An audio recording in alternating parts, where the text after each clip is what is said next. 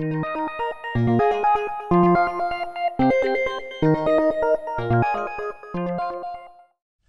this is going to be a follow-up video on the previous video which was released for this induction heater. I've had many people email me and ask in the comment section what is the current rating of this particular induction heater. People wanted to know what the current is that's being consumed by this circuit and they also want to know what the current does when I insert an object to be heated. And in this video we're also going to take a look at a different working coil. So let's get started.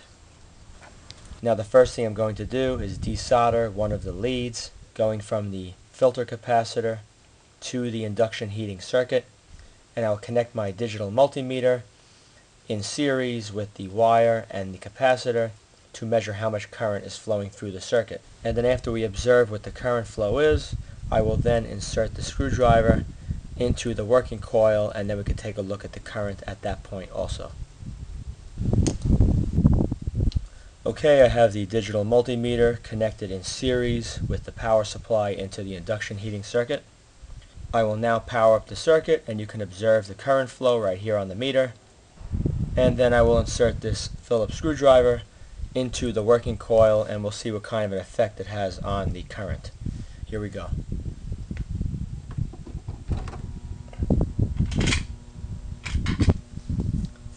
Alright, around 2.75. Let's put that in. And look at that current spike up. Look at that. 6.7 amps. 7 amps. So it really does shoot up. I'll take it back out. Goes right back down, and this is getting hot already.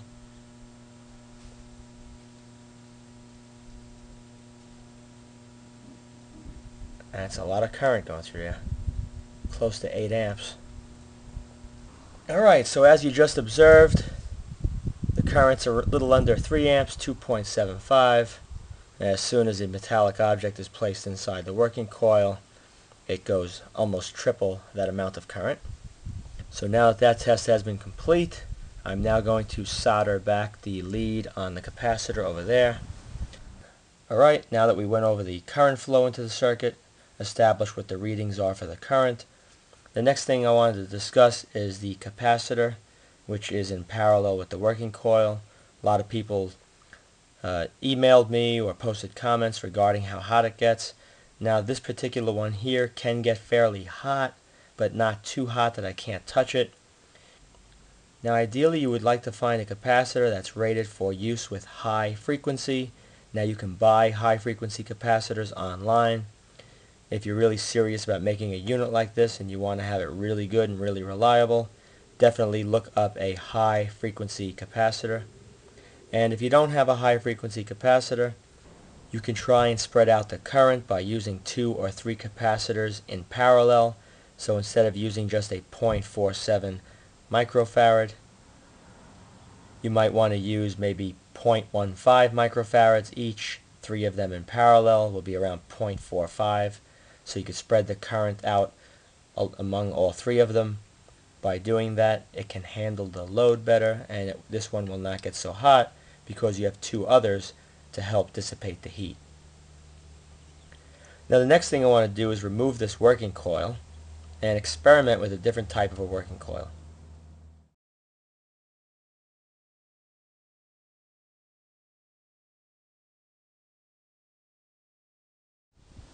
Now after this working coil is desoldered, what I'm going to do is put in place of it this spiral wound coil that I put together.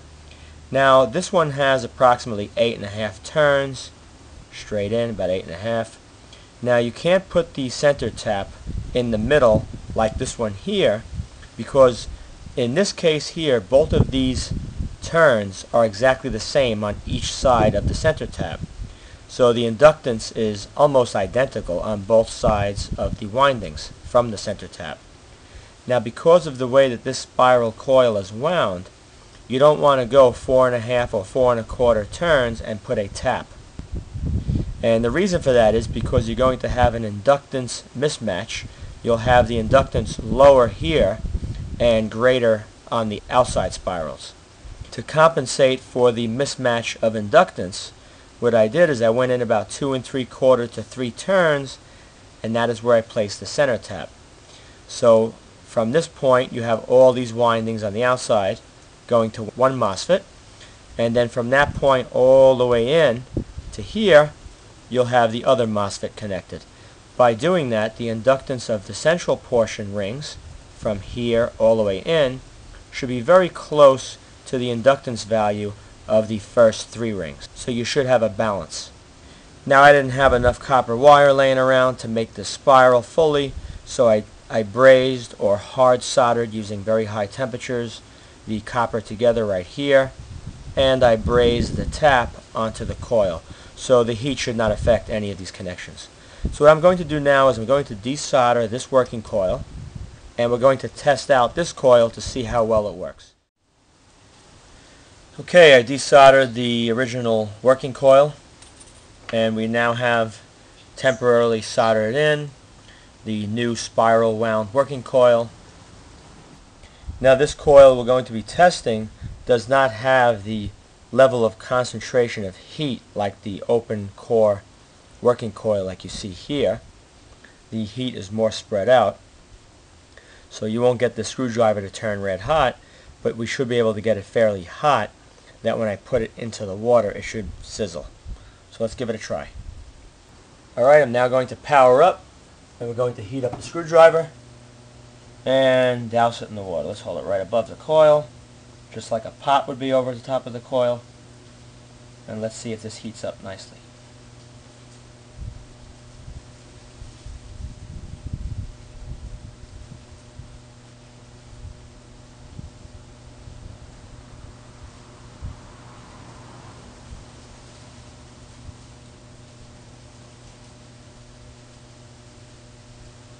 In a minute I will douse it in the water. We'll see if it sizzles. It should definitely be getting hot. Let's give it a shot right around now. Yep. There we go. So it definitely works. And like I said, you won't get anything glowing hot out of that. Unlike this one here where everything glows red inside of it. But I can see why they would use something like this for cooking. Let me feel the coil.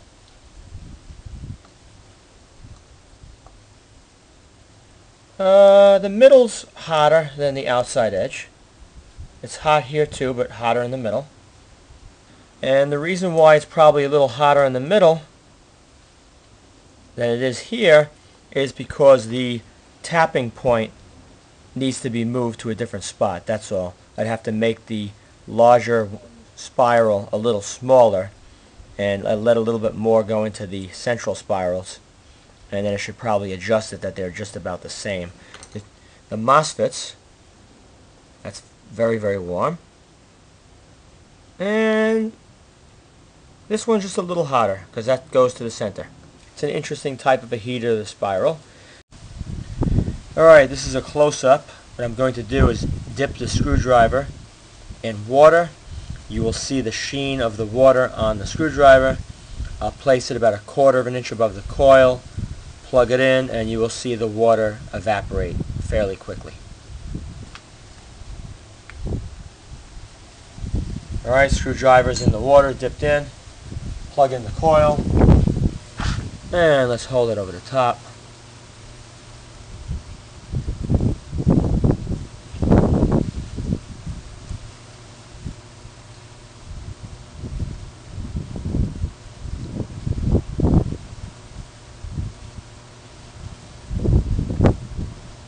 Disappearing.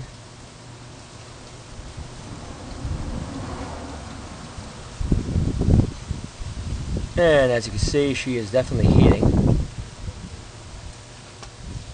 Now I also came up with an idea for another type of a spiral, which I have not yet tested, but you can feel free to test it.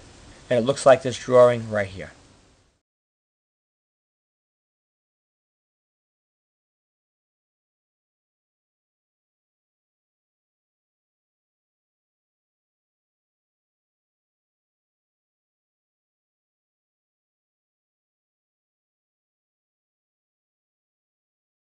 Hopefully I answered a bunch of questions for you regarding how much current and what to do with the capacitor if it gets too hot and you wanted to know also if a spiral coil works well so now you know all the results. Thank you for watching this video. If you enjoyed this video, please rate it a thumbs up, subscribe, and post links to this video on other websites and blogs.